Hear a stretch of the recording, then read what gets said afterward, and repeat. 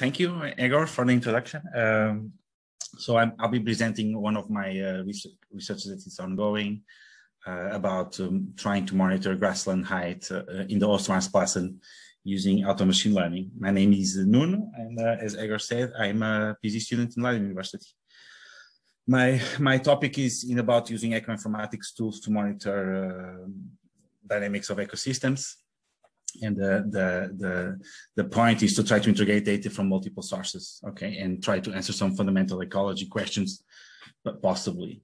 Uh, and and I've, my focus is then a lot on, on monitoring biophysical traits of vegetation or biochemical traits of vegetation, and then trying to relate that in specific with uh, nature-oriented solutions. And that's why we have a focus on the uh, Oostvaardersplassen, which is a, a, nature park here in the Netherlands. And that's a Google map, a terrible Google Maps uh, crop. Uh, uh, and the, the, nature park is very nearby, but this, the idea is to show that it's nearby to Amsterdam and it's kind of a, a, a protected area where uh, herbivores was allowed to roam free without any predators, with very small management, and it has been a, been a contentious park recently in the Netherlands.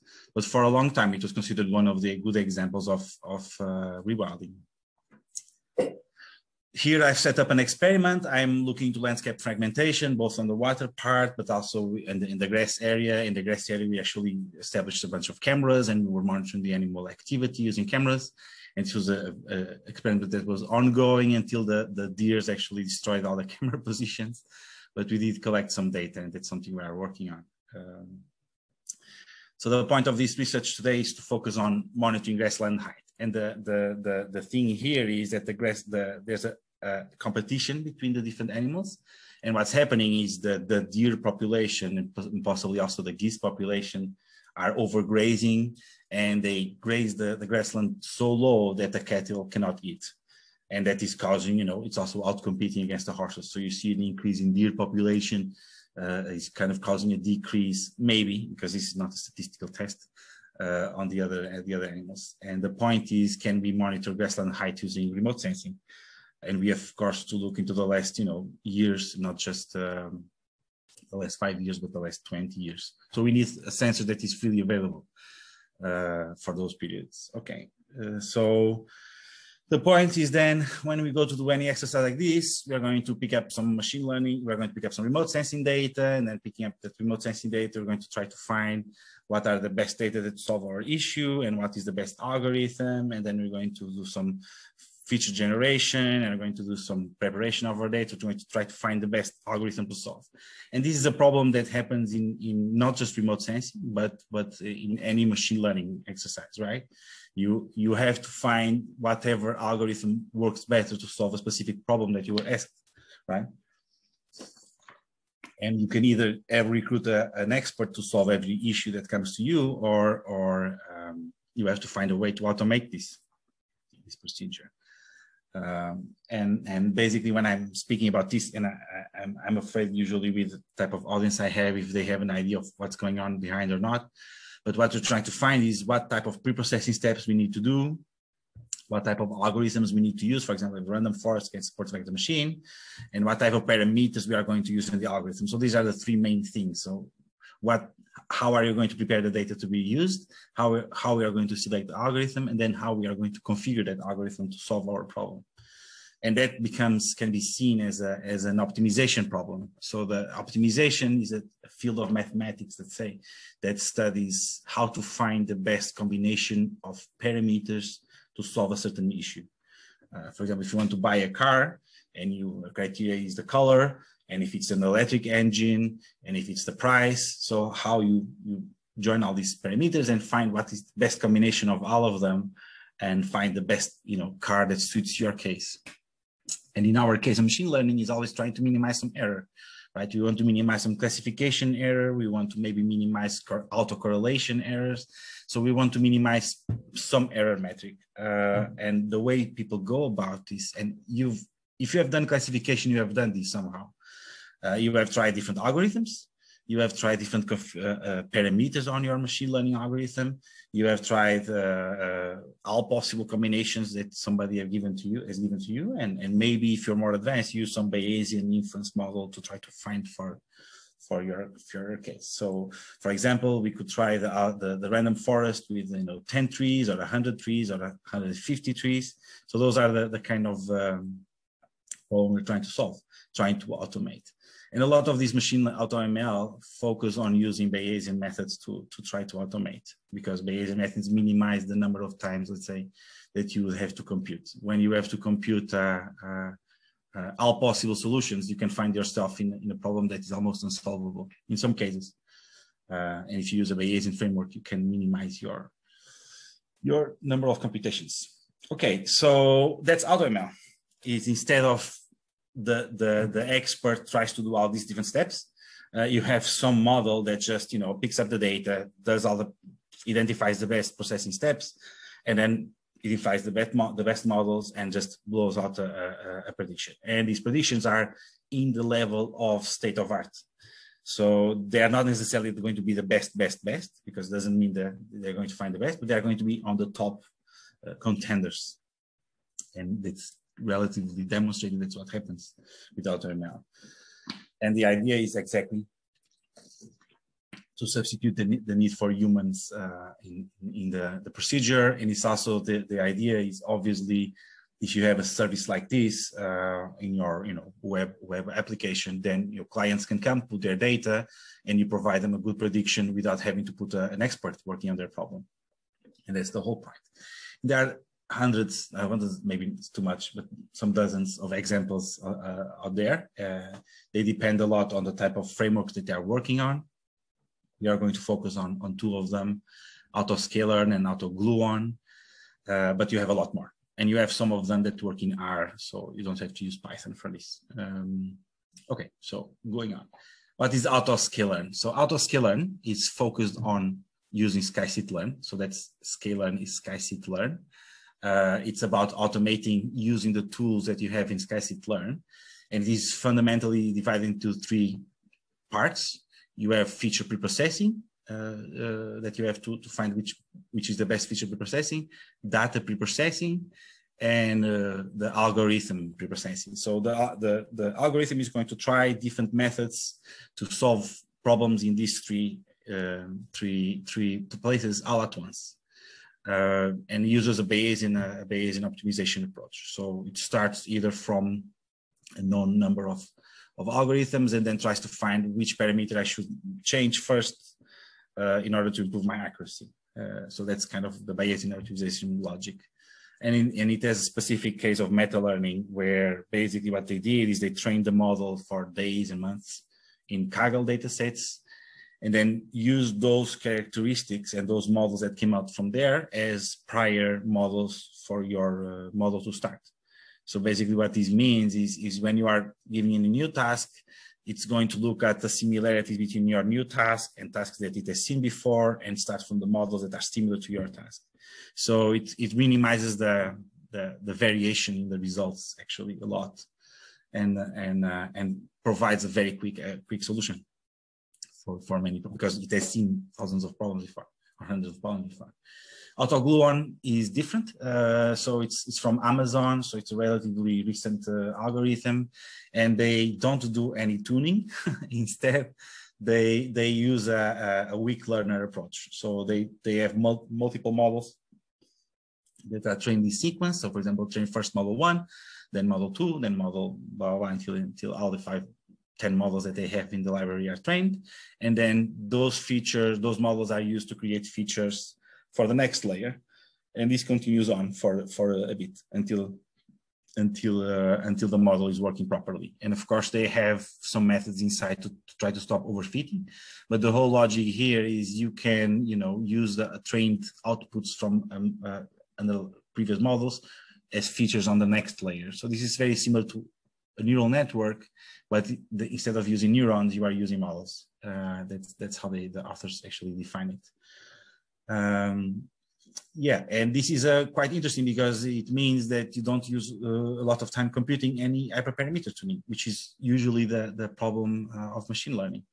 Uh, so this is a, a, relatively interesting approach to solve, to create good accuracy without too much uh, problems. And this, this means that they are very, very different between them, right? So auto-sklearn on the top finds a pipeline of preprocessing steps, uh, tries to solve the CASH problem. Uh, and in case of the, the, the AutoGluon, it, it just finds an ensemble solution of, you know, preprocessing pre models that are all weakly learned. Uh, and what happens with the, with the auto-sklearn is you have all this information about preprocessing steps. You can try to find patterns in your preprocessing steps. So you can kind of explore uh, deeper to improve your model to a task. And because of the AutoGluon, you just have very good accuracy very quickly. Uh, I would say that that's, that's the big difference between them. Um, so the idea is we are going to monitor grassland height in the Oostvaardersplassen, and we are going to try to emulate one of the main methods that people do in remote sensing, which is feature selection and also feature engineering. So basically NDVIs and, and EVIs, that's feature engineering. And we're going to try to emulate all possible solutions that uh, an expert would come up with, uh, do some hyperparameter tuning, basic hyperparameter tuning. That's also what people do in machine in uh, remote sensing in general and then see how that compares against, you know, just a simple auto, auto ML model uh, and see if uh, which one does better. So basically that's the step, right? You pick up your raw data, do some feature selection, you choose band X and band Y, and this band is too bad because it's affected by atmosphere. You do those kind of selections in the expert, and then you put in some model tuning, and then you put in your training and predict. And, and AutoML, you just skip everything and just go directly to the training and let the model find find the the solution, the best solution. So that, that's the data that we had. We have uh, some transects collected between 2013 and 2017, different times of the year. We, we collected all the data, found uh, remote sensing images that were most closely associated with each point. Of course, sometimes they're a week after, a week before. Um, and then investigated which algorithms people use for this type of monitoring. And there's, you know, lots of examples of people doing different things. And that's also a typical thing in remote sensing is people try different algorithms, but then in their manuscripts, actually, they just report, you know, the, the ones they use or the one they used.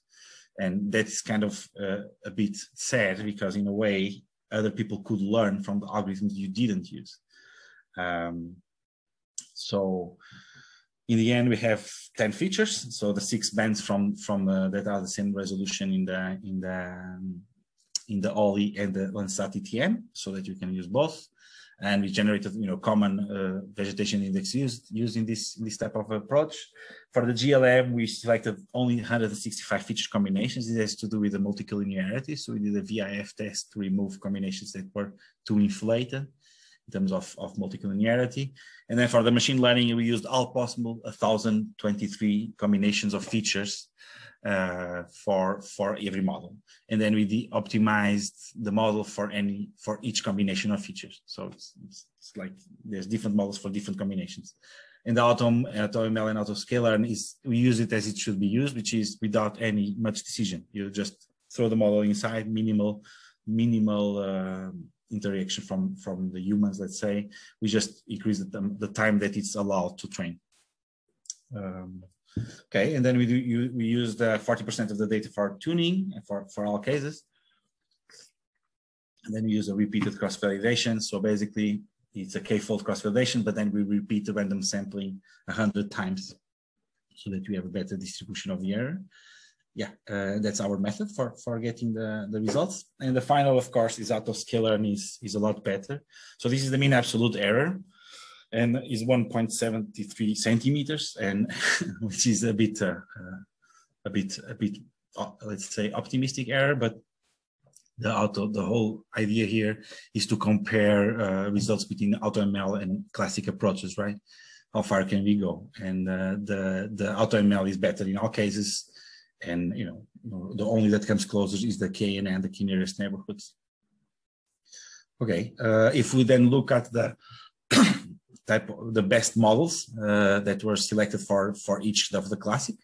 You see that you know there's none of them is the same. They're all different combinations of bands and different combinations of vegetation indexes and different combinations so this, this kind of starts starts to, to think what what is the difference between selecting different features when you are doing classification if in the end you know the the, the differences between these models are, are minimal right this is even better observed here, where we look at the best 10 models and the best 25 models, the best 50 models for each algorithm. there's almost no difference between them. So the implication here is when you are selecting fixtures, you are, you know, kind of moving between peanuts because the machine learning is made to fit. And if you optimize your model quite well, you might work with, you know, different bands, even if, if, if in theory they should not work. Um, and this is also interesting is if you look at the best 25 for each algorithm, we see that only 90 times there was a shared structure. So they could have 150 potential structures, let's say that are equal. Um, and they had only 19 of 150. So very few times different models find the same structure of a model, right? But there are indeed bands that are selected more often. Band two is selected the most often. Uh, so that's the green band. We are looking at grassland, so in a way that one makes sense. Except for the support vector machine, when everything is kind of a bit random, which is uh, interesting, uh, to be honest, why that happens. Might have to do with the type of model. Uh, vegetation indexes don't play a much bigger role when compared to, to just using direct raw bands, uh, in my opinion. The other thing is we look at auto-sklearn, we see that there's almost no error, increase, no, no improvements after certain time budget. And we see that, for example, 30 seconds, we can already have 30 seconds of training. You can already have accuracy of 1.7 centimeters. So you can see in comparison to the type of work that you'd have to do to prepare a classification random forest. And then if you pick up that, and then you just pick up AutoGluon, put your data in, and you have 30 seconds after you have a model ready to use. So that's that's the big difference here, right? Um, and then you see that you know, there's not much increase in changing in error for any of them. One thing I'm going to, to just show very quickly is we're going to explore how the auto-sklearn reports the results. not doing the same exploration for AutoGluon because it's a bit meaningless in this case. Um, so I'm just going to show you in online how does it actually look. Uh, so for example, if I uh, train a model, I, am going to have a certain pipeline, okay? And this pipeline, if I let's put by type, uh, the first steps are uh, pre-processing steps in the data, and then you have pre-processing steps in the features, and then you have the algorithm. So if I select it, then I have all these steps. I hope you can see more or less well. Uh, you have categorical transformation steps, numerical transformation steps, and then a feature agglomeration step that is a, a way of, of correcting the data or, or aggregate data that is similar, and then it goes to the random forest, and then it goes to the final output. And then here you can explore, for example, the parameters of each model. And you could explore, if you have longer time training, you can explore to find if there are feature preprocessing steps that are used a lot of times. You can also get some, some estimate of the error. You can also get a, a, a, a type, a type, how much weight was made in the ensemble. So the next graphics are kind of going to show how a summary of this, but ideally you could explore the summary interactively like this, but in a publication it's a bit hard to make. Uh, okay, so we see that in the terms of the of the auto-sklearn, uh, the random forest is used more, uh, more, more quickly in, in both cases. When you use meta learning, you don't use meta learning. Um, but then it stops being as important. This is basically the model is trying different algorithms and, and finds, you know, better, better results with different algorithms. The more time it has, the more algorithms it tries. So in theory, we could even put an hour of training and get a super model. But of course, might run to overfitting issues. Um, but these are very simple, simple interpretations you can make from here. You see that there's, in terms of pre-processing, in the case of my data, there's not much importance. There's not much dominance in any kind of of, uh, of uh, pre-processing steps. Uh, the, you see also that with meta learning is a much more organized testing. So it starts one third of the models for each type of pre-processing step, and then one one fifth and then one something, and then maybe starts having a bit dominance here. And when without meta learning, because it can use all the models, it uh, it has no direct starting point. It, it, can start from a random position. You have a bit more variation. Then we look at categorical and numerical preprocessing uh, basically there there are no dominance from anything. It's the same the same the same issue. Uh, but the rescaling was important. Basically, it's always used uh, in most cases. Um, okay, so in general, uh, auto-sklearn is better. Uh, AutoML models are, are not just better. They expected that they are better because they do a lot more than what uh, uh, an expert will do, even in terms of remote sensing.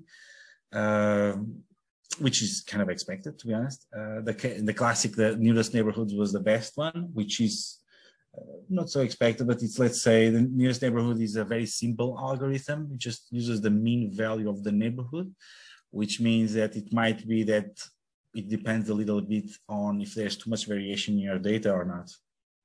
But it was the best in this case. Traditional methods often focus on interpreting, you know, band selection. So you do a prior expert knowledge selection of bands and you say NDVI is very important for biomass. Uh, but then in the end, if you don't really compare it against all the other possibilities, does that have uh, much value as a conclusion? And the next uh, approach is to try to use this with animal population data, integrate these results with the population data that we have. That's for future research. Okay, so in terms of AutoML, this is a general con con conclusion. It's very important that you look into these things if you especially you want to, to look into deploying as services. Uh, there's no adaptation of AutoML for, for remote sensing tasks at this moment. And there's a lot of things we could do, right? We could have, you know, steps testing if it's the model is an optical sensor, the wavelength, if it needs to, for example, use RTM inversion for some cases. So a lot of things could be done to um, uh, adapt this to, to remote sensing. But AutoML is, is a good way to get good results uh, without uh, having to need an expert. Okay, and if you want to try, I have some examples. I this example is already correct, so you can actually go there and use it. You have to use a GPU, uh, a GPU to make it work properly, and it's very unstable because every time somebody updates something, it breaks. Uh, so the auto-sklearn is a bit like that. But if you want to try it, just let me know and I'll show you how to implement in your case. And uh, AutoGluon is much better uh, in that sense. It works a lot, a lot easier because I guess it's maybe more standalone-ish than auto-sklearn. And yeah, that's the end. Looking forward for your questions. I hope it was clear